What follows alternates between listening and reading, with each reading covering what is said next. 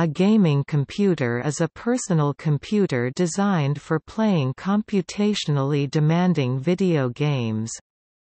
Due to the integration of common hardware components onto the motherboard since the 1990s, a modern gaming computer is comparable to a mainstream computer with the addition of performance-oriented components, such as video cards and high core count CPUs. Gaming computers are often associated with enthusiast computing due to an overlap in interests, however, while a gaming PC is built to achieve performance for actual gameplay, enthusiast PCs are built to maximize performance, using games as a real application benchmark. Whereas enthusiast PCs are high-end by definition, gaming PCs can be subdivided into low-end, mid-range, and high-end markets.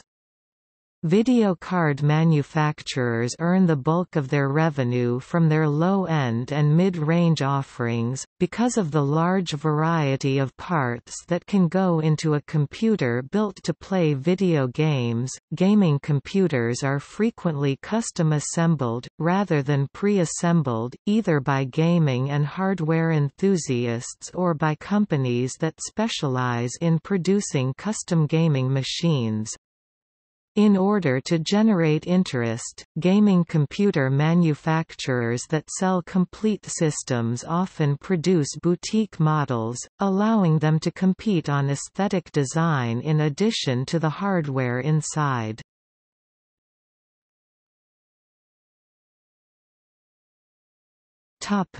History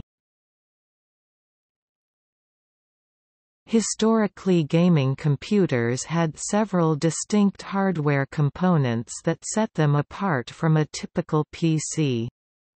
The push for better graphics began with color fidelity, from display systems such as CGA eventually graduating to VGA, which was adopted for the mass market.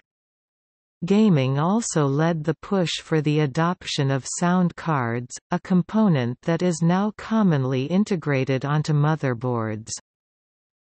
In the 1980s, several non-IBM PC-compatible platforms gained a measure of popularity due to advanced graphics and sound capabilities, including the Commodore 64 and Amiga.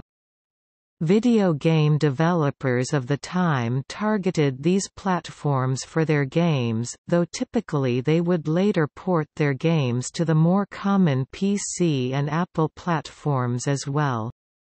The MSX was also popular in Japan, where it preceded the video game console revolution. Japan also had several other popular gaming computers during the 1980s to early 1990s, including the very popular PC-88 and PC-98 as well as the powerful X68000 and FM Towns. By 1993, PC compatibles were the standard for gaming. Computer Gaming World stated in January, we think it would be a mistake to get anything less than a 386 clone with, at least a clock speed of 33 mHz.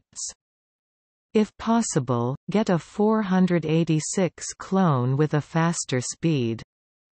Get 4 MB of RAM and at least 100 MB on your hard disk.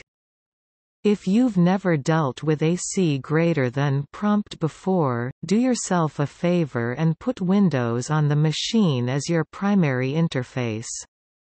If you're comfortable with the same DOS that you see on your friends' machines, go with DOS 5.0, get a mouse, if you can afford it, and a sound card that is either AdLib or Sound Blaster compatible. If you do win the lottery, throw in a CD-ROM, too. That's the basic game machine for today's games. In September, the magazine replied to a reader asking for The current 486 desktop Dream Machine for playing computer games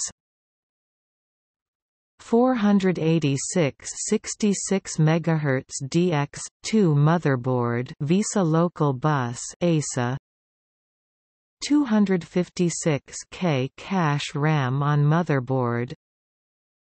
AMI BIOS upgradable with disk. 8 to 16 megabytes of 70 nanoseconds or faster RAM VESA-compatible local bus video card with S3 or other co-processor. 250 megabyte and up SCSI2 hard drive. SCSI2 host adapter with cache memory.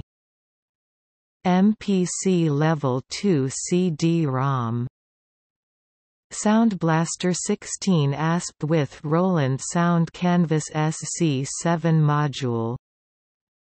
Full Thrustmaster Mark II WCS, FCS and rudder pedals. 20 inches and up CAD monitor. Falcon Northwest began advertising in Computer Gaming World in 1993, claiming that the Falcon Mach series are the first personal computers designed especially for the serious gamer in mind. Computer Gaming World reiterated in 1994, "...we have to advise readers who want a machine that will play most of the games to purchase high-end MS-DOS machines."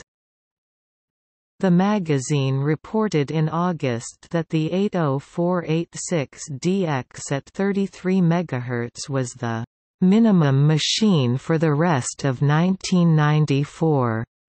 LAN parties helped to promote the use of network cards and routers among consumers.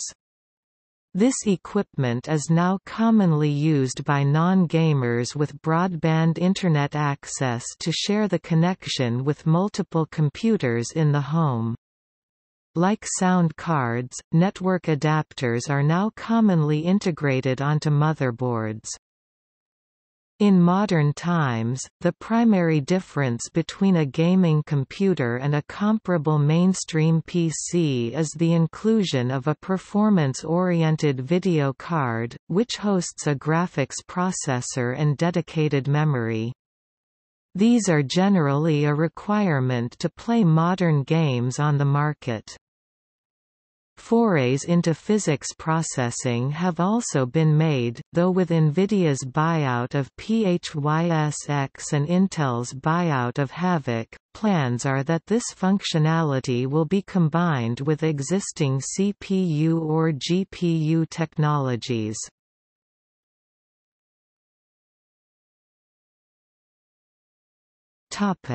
Custom-built gaming computers By 2012, it had become increasingly popular for gamers to custom build their own PC, allowing for more budget control and easier upgradability. More often than not, it is possible to maximize performance for the best value when building a gaming rig. There are several components that must be considered when building a gaming rig, which include CPUs, memory, a motherboard, video cards, solid-state drives, power supplies, and cases. When building a custom-built gaming PC, builders usually turn to independent benchmarks to help make their hardware selection. Organizations such as AnandTech and Tom's Hardware Guide provide such benchmarks and hardware reviews. The benchmarks include ratings for PC components that are necessary to build a gaming PC. It is also crucial to consider computer cooling, as this is required to remove the waste heat produced by gaming computer components.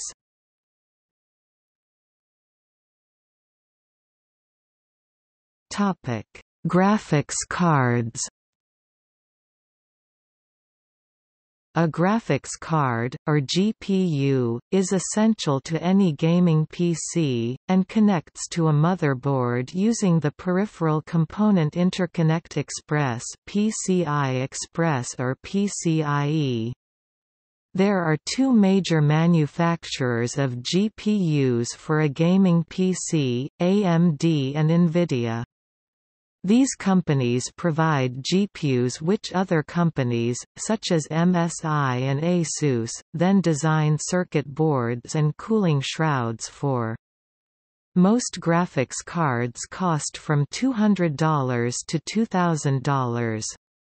Modern consumer-grade CPUs often have on Die-integrated GPUs, however, these GPUs typically do not provide the adequate performance for playing graphics-intensive AAA games, and are instead aimed primarily for less demanding workload such as GUI rendering for everyday tasks, video playback, and light gaming.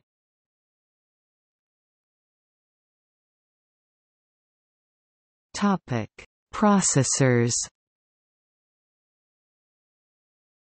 A major component of a gaming computer is the processor, or CPU central processing unit. There are two major brands that manufacture CPUs, AMD and Intel. As of 2017, most gaming PCs were built with Kaby Lake or Ryzen CPUs. While buying a powerful CPU is important to avoid bottlenecks, after a certain level of CPU power, diminishing returns become evident if the PC is not being used for other, more CPU-intensive purposes.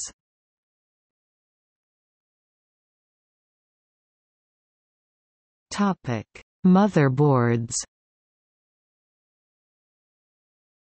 Gaming motherboards are differentiated from their normal counterparts by being created with case windows in mind, having more visually appealing designs, sturdier materials, and, in some models, built-in LED lighting.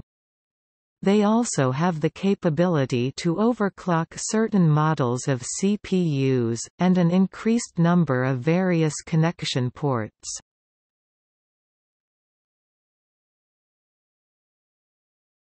Topic: Memory.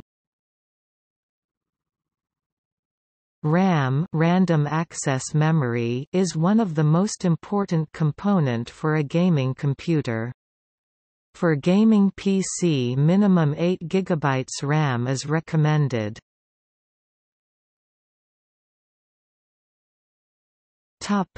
DDR memory DDR double data rate memory is essential for any computer system. Adding more memory allows the CPU to address more data for it to quickly access instead of reading off a comparatively slow disk drive or solid-state storage device. DDR-RAM also has much lower latency than its GDDR counterpart and much lower bandwidth as the CPU relies on being able to change small amounts of data quickly. The latest standard of DDR memory is DDR4L.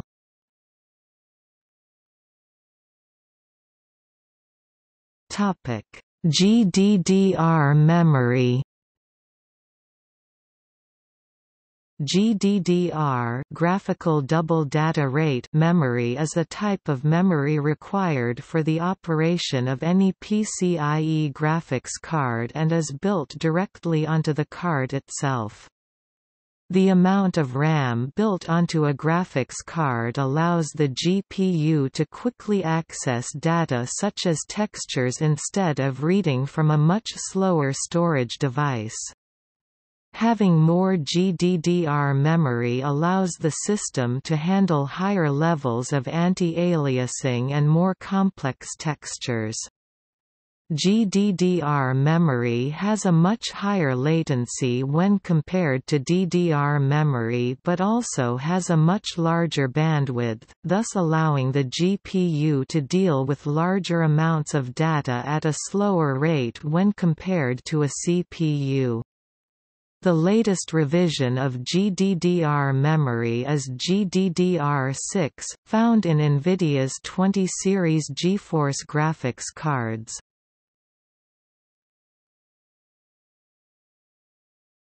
High bandwidth memory (HBM). HBM is a type of memory required for the operation of any PCIe graphics card, and is placed directly beside the GPU itself on the graphics card. This is different to standard GDDR as standard GDDR memory sits on the PCB of the graphics card. The main advantages of having the memory mounted so close to the GPU itself are as follows, reduced latency due to signals traveling a shorter distance, more bandwidth due to more space for data lanes, and decreased power consumption due to inherent differences to GDDR on the microscopic level. The latest revision of HBM is HBM2.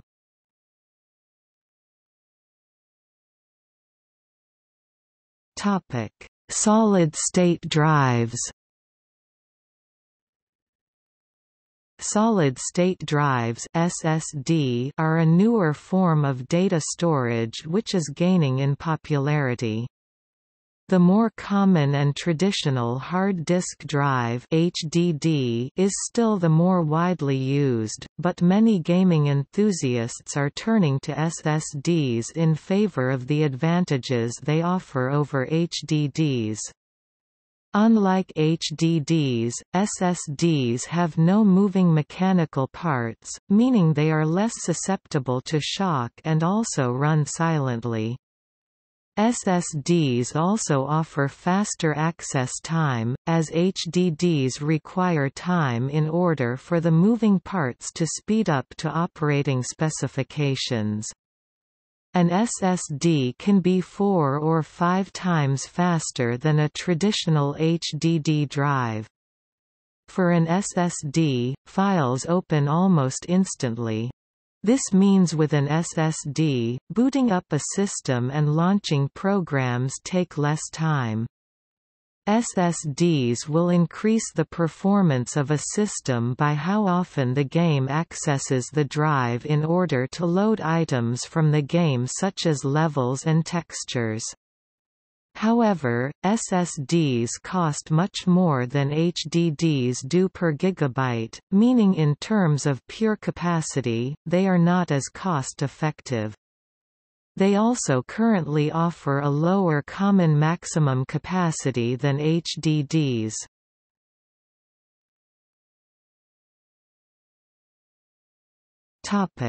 Power supply units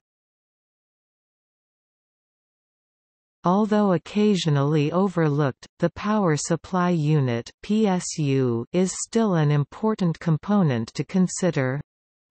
The wattage needed to run a system is dependent on the hardware, so often a PSU calculator is used to determine the wattage needed. In addition, future upgrades to a gaming rig will possibly require more power, and PSUs lose power as they age, so it is often a good idea to buy a PSU that has the capability of lasting through several years and upgrades. The PSU must also be compatible with the other hardware pieces. There are two types of PSUs, modular PSUs MPSU and non-modular PSUs. Non-modular PSUs come with fixed cables, meaning unused ones will be left unconnected. Modular power supplies have cables that are detachable so unused cables do not create excess clutter but are often more expensive than their non-modular counterparts. Both fulfill the same purpose, but often modular PSUs are preferred because they allow for better cable management, as they remove the issue of unused cable clutter that non-modular PSUs often have. Semi-modular power supplies come with only the necessary cables fixed, while cables that are not necessarily needed are able to be detached.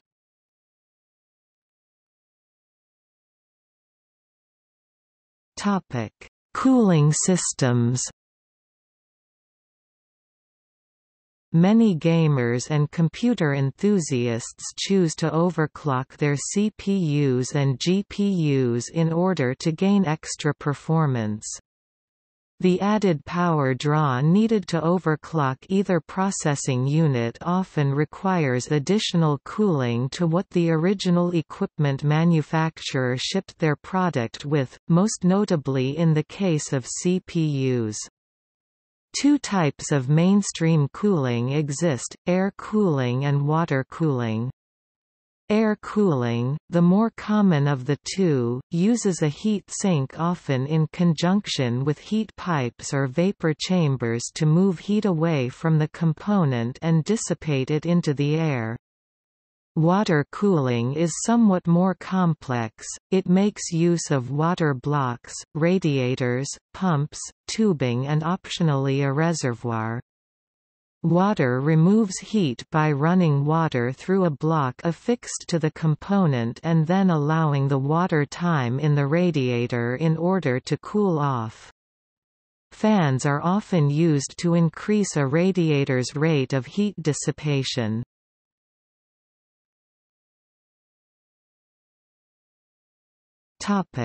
Computer case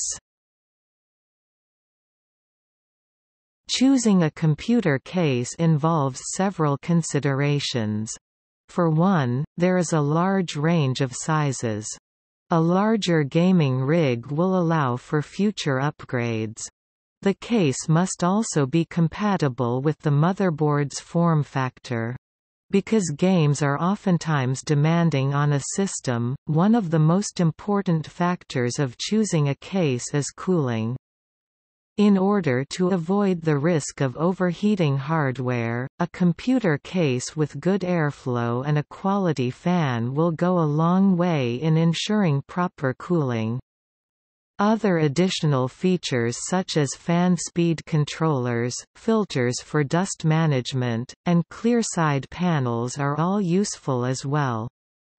Custom building allows a builder to personalize their case if they so desire for aesthetic purposes. There are many designs for computer cases so the builder can choose to their liking.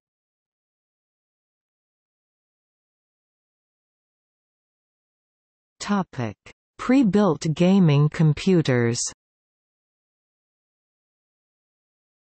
While many advanced Gamers build their gaming PCs themselves, some choose to go with pre-built or custom-built gaming PCs. These PCs can often be more expensive than building one's own, with higher premiums attached to high-end brands with varying levels of customer service. Different companies offer varying degrees of customization.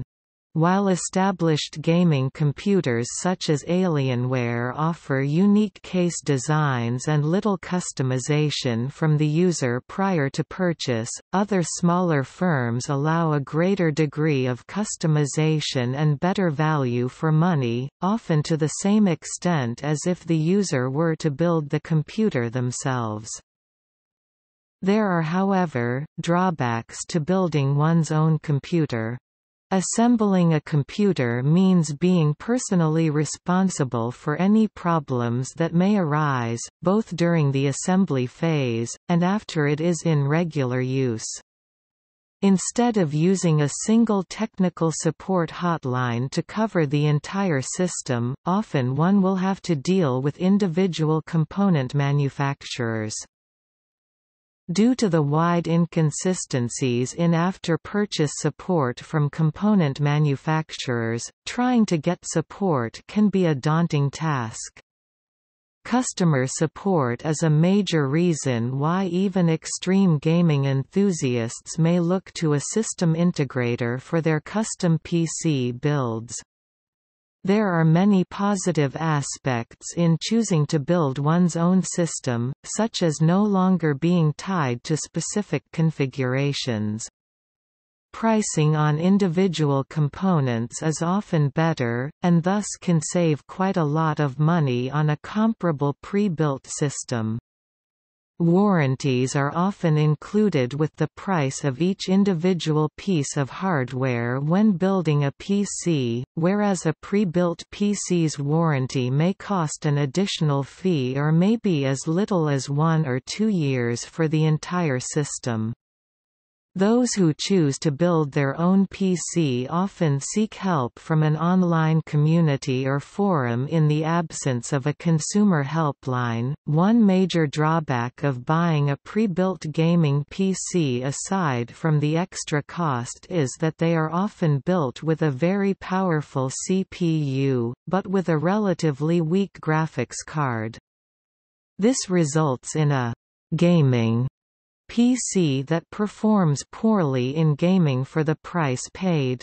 Most games today do not benefit much from having a very powerful CPU with more than 4 core and hyperthreading, but benefits greatly with a more powerful graphics card.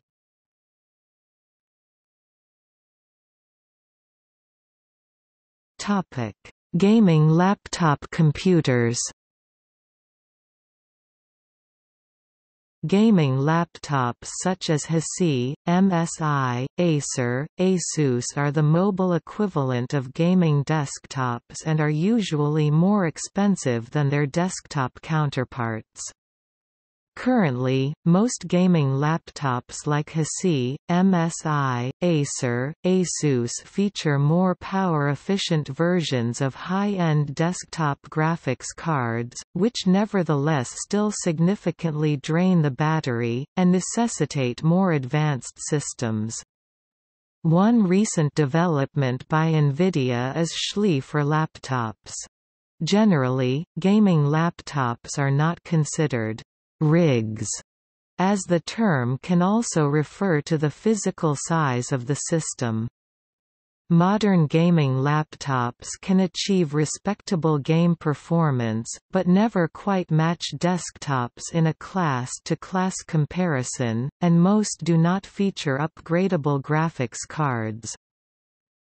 Due to the relatively small size that the hardware has to fit in, cooling the heat-intensive components is a major problem affecting the performance of such laptops, usually causing degraded value for money performance-wise. Attempts at using the same performance hardware as desktops usually end in a decreased clock frequency of graphics chips to reduce heat, causing the poor value for money. One can find many value recommendations across the Internet on sites like TechRadar or Tom's Hardware. The introduction of the NVIDIA GTX 900M series of mobile GPUs in late 2014 represented a significant advancement from the previous 800M series, lessening the gap with desktop systems and making gaming laptops a more viable alternative to desktop PCs. A newer approach in the gaming PC industry is to create small form-factor desktops that are more compact and easier to transport than a normal full-sized system.